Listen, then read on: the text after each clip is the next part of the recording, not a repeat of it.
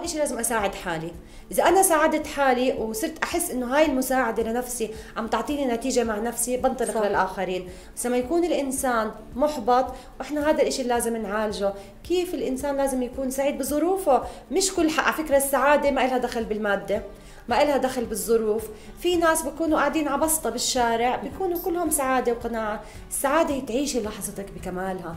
هذا اللي الله كتب لك إياه. في مقولة إحنا دائما نحكيها إنه اللي هي إذا ما قدرت if you can't stop the flood build an ark build an ark يعني خلص ما في أشياء تنزل علينا بالحق إحنا هذا مجتمعنا هاي هي ظروفنا هذه وضعنا بدنا نمشي بهذا الظرف بأحسن طريقة نعيش حياتنا على قد ما الله أعطانا هاي الظروف صح بسعادة. صح. في شغلة ثانية إنه هو الإنسان عبارة عن انعكاس لذاته reflection فهو الإنسان آه، ممكن تكون أحد أهدافه في الحياة إنه أنا كيف بقدر آخذ الخطوة الأولى؟ يعني نعطي نصيحة تب صح. شو ممكن أنا أعمل؟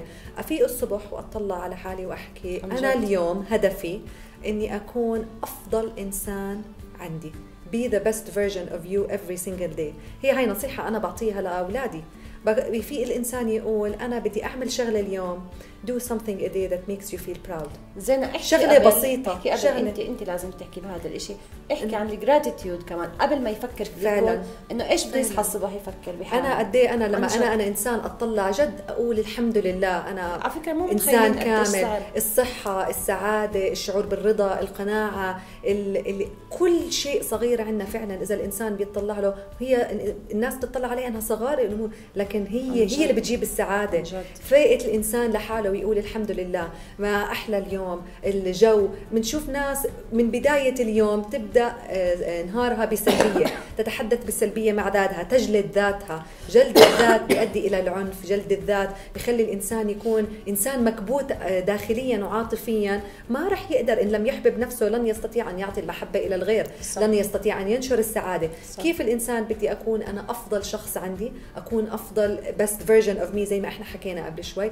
طالما أنا ما عم بقدر أشتغل على نفسي. أنا بقول كثير في ناس بتحكي حوالينا ما بنقدر نغير العالم. لا أنا بقول تقدر تغير العالم. وابدأ بذاتك. Start with yourself. ابدأ بذاتك. لا بتقدر. أنا وانت كلنا مع بعض. لو كل إنسان بدأ بذاته من إطاره من دائرته الأولى أهم دائرة في الحياة إنه يكون الإنسان محاط بالدائرة الأولى يقدر يتصرف معها بإيجابية يشتغل عليها. ويشتغل عليها ويظبط علاقته معها. دائرتي الأولى قد تكون الأشخاص معي بالعمل عائلتي الأفراد أسرتي الناس اللي حوالي. كلنا مختلفين وكلياتنا لنا آراء. ما في شيء اسمه صح وغلط.